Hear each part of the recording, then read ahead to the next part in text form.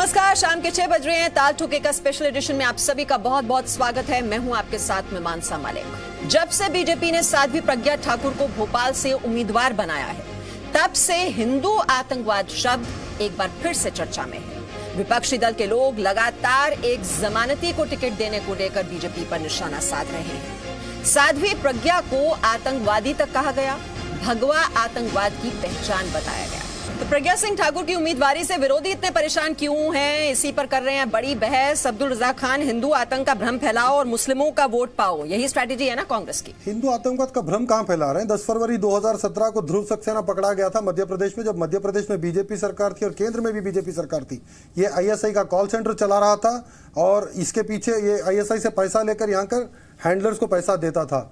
दूसरा आपके सामने आतंकवाद कहाँ से हो गया जब आईएसआई मैं- मैं अपने तत्व? सामने रख दू फिर आप बात कीजिए। सेंधवा नगर पालिका की अध्यक्ष बसंती यादव का लड़का संजय यादव।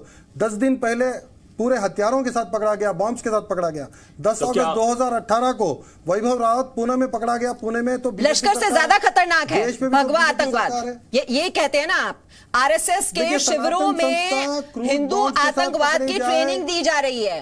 अगर अगर ये ट्रेनी है ये तो फुल फ्लेजेड टेररिस्ट होंगे ना आप। जरा नाम बता दीजिए आज। अब्दुल हमारी खान सिर्फ़ दर्शक सुन रहे हैं जरा नाम बता दीजिए नाम बता दीजिए। है। आतंकवाद का कोई धर्म नहीं होता। आप लोग टिकट देकर ये साबित करना चाह रहे हैं कि ये आतंकवादी नहीं है। आईसिस का क्या धर्म है?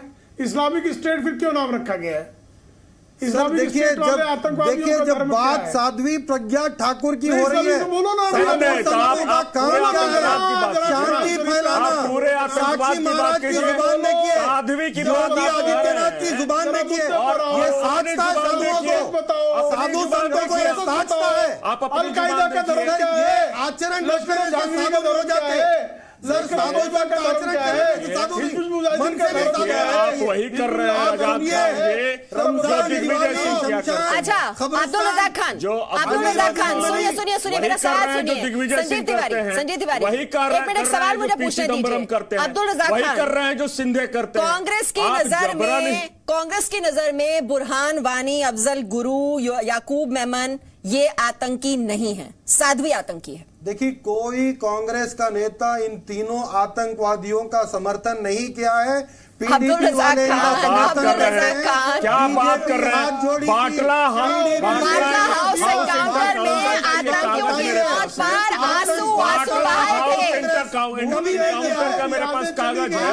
और दिग्विजय सिंह को देखिए दिग्विजय सिंह इसी दिग्विजय सिंह ने क्या कहा था? और यही दिग्विजय सिंह आज़म आज़म आज़म फैलाते हैं राम मंदिर पर हम ऑर्डिनेंस लाएँगे तो राहुल क्या आजमगढ़ गए। यही दिग्विजय सिंह कहते हैं कि ओबामा जी यही यही राहुल अब्दुल रजाक खान अब्दुल रजाक खान बाटला हाउस एनकाउंटर में जब एक धर्म विशेष के आतंकी मारे जाते हैं तो कांग्रेस के नेताओं के आँसू छलकने लगते हैं। यहाँ प्रताड़ित हो रही हैं बिना सबूत के कोई हमदर्दी नहीं होती। देखिए कांग्रेस को सबसे ज़्यादा धक्का पहुँचाया आतंकवाद से। कैसे दो दो प्रधानमंत्री खोए आतंकवाद मानसिकता को पोषित करने वाली कांग्रेस के जो है दो मिनट का। एक एक करके एक करके संजय तिवारी जल्दी से अपनी बात रखिए। जब तक जब तक कांग्रेस की सरकार थी मैं आपको डेट देता हूँ। 13 सितंबर 2008 को कहाँ पे सीरियल ब्लास्ट हुआ? करोल बाग में, इंडिया गेट में, कनाड प्लेस में, ग्रेटर कैलाश में। लगभग 23 लोग मारे गए और 133 लोग इंजर्ड हुए। इसके बाद बाटला हाउस इनकाउंटर हुआ 19 नौ 2008 को। सरकार किसकी थी? कांग्रेस की थी। दिल्ली में भी सरकार कांग्रेस की थी, केंद्र में भी सरकार कांग्रेस की थी। इसमें जो जो वीर सैनिक वीर व्यक्ति मारा गया, मोहन चंद्र शर्मा, जिसको बाद में अशोक चक्र से सम्मानित किया गया, उसकी मृत्यु के ऊपर शक उठाने वाला कौन था? यही दिग्विजय सिंह थे। और यही कांग्रेस के नेता थे जो लगातार कहते रहे कि ये जो है। 2008 ये fake is- साथ में सुन बात लीजिए, मैं की आपके जा बीच रही में नहीं है, बोला किस विषय के चल रहे हैं था आप तीसरा सुन लीजिए मालेगांव का जो ब्लास्ट हुआ वह कब हुआ? अरे मलिका जी विषय विषयांतर हो रहा है। उनतीस नौ हाँ विषयांतर तो होगा। पठान साहब उनतीस नौ दो बात हज़ार कीजिए, आठ को बात कीजिए। जब जब मालेगांव का कीजिए सरकार। किसकी थी? कांग्रेस की सरकार दोनों जगह थी। अच्छा, विषयांतर तो आपको लगेगा। आपको विषयांतर तो अगर लगेगा।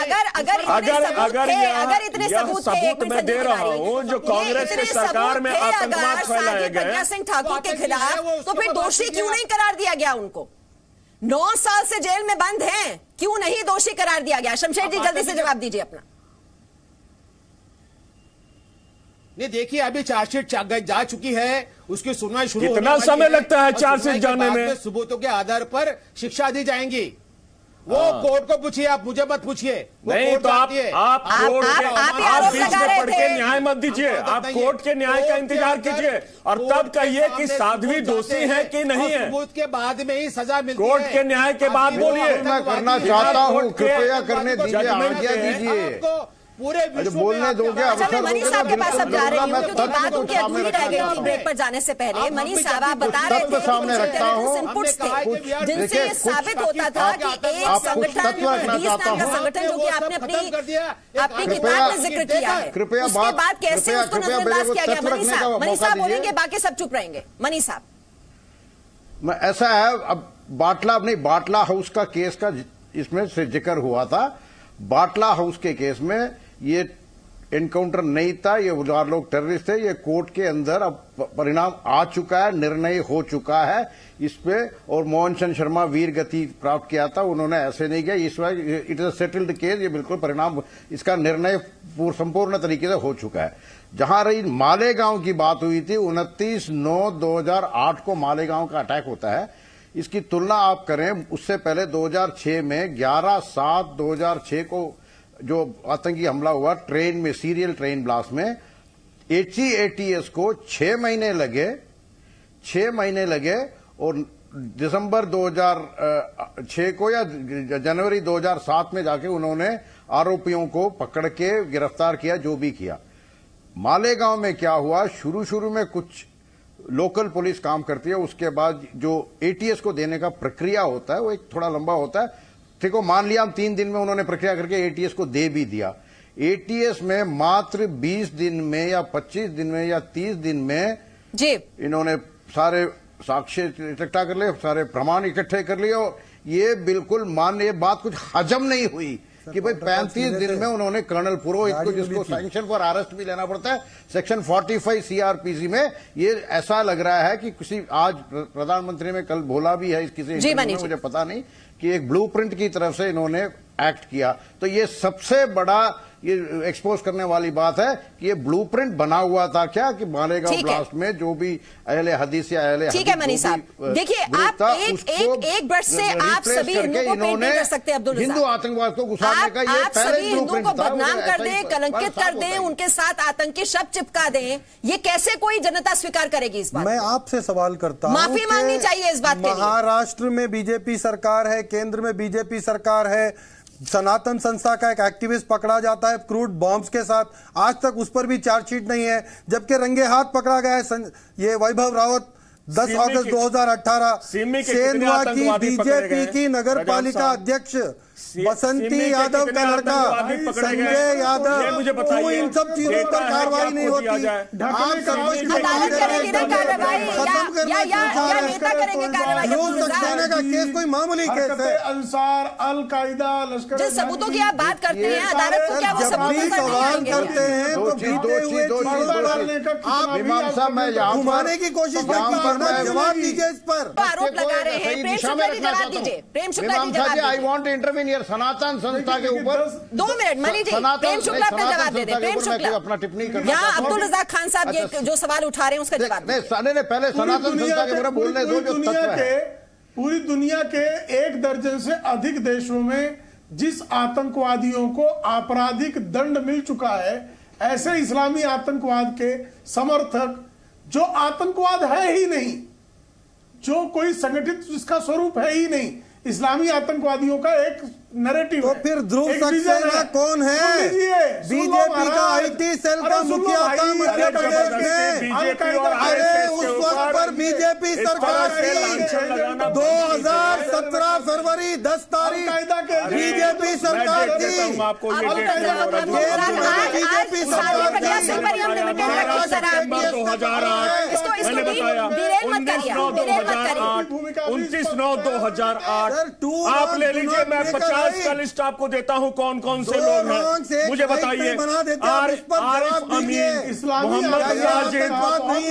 ठीक है विजन है। पाठ करने के लिए ने ये कौन?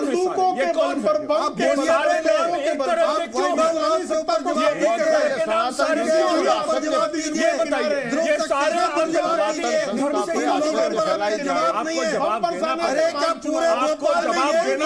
कार्यकर्ता नहीं? ठीक है आपको जवाब देना पड़ेगा ये अब्दुल? रजाक चलते चलते लश्कर से ज़्यादा खतरनाक है।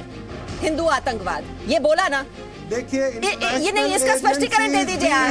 आप आप आप सबको कलंकित कैसे कर सकते हैं? कलंकित कैसे कर सकते हैं? इसका जवाब दीजिए। मिलिटेंट ऑर्गेनाइजेशन है बजरंग दल आप आप इसका जवाब बजरंग दल मिलिटेंट ऑर्गेनाइजेशन से। कौन कह रहा है? ये सीआईए की रिपोर्ट कौन कह रहा है? अमेरिका के सीआईए की रिपोर्ट है। आप अमेरिका के रिपोर्ट है। आप अमेरिका Independent CIA के ऊपर विश्वास करेंगे। भारत के लोगों के ऊपर विश्वास करेंगे अब्दुल रजाक अरे अब्दुल रजाक भारत के लोगों के ऊपर विश्वास करेंगे। और यह जो गेंद है पूरा हो चुका है। अब्दुल रजाक संजीव तिवारी ये ये नेता तय नहीं करेंगे कौन आतंकी है कौन आतंकी नहीं है ये कोर्ट तय करेगा और कौन चुनाव लड़ेगा कौन चुनाव लड़ेगा चुनाव नहीं लड़ेगा ये भी आप तय नहीं करेंगे ये भी कोर्ट तय करेगा। ये इलेक्शन कमीशन तय करेगा। उन्हें अपना काम करने दीजिए। और और और हिंदुओं को बदनाम करना कलंकित करना ये ये इसकी इजाज़त आपको नहीं दी जा सकती। इसकी इजाज़त आपको नहीं दी जा सकती। इस, इसकी इजाज़त नहीं दी जा सकती। हम हम इस चर्चा को यहीं पर खत्म कर रहे हैं। वक्त इतना ही था। सभी मेहमानों का बहुत बहुत शुक्रिया इस चर्चा में शामिल होने के लिए। छोटा सा ब्रेक ले रहे हैं फॉरन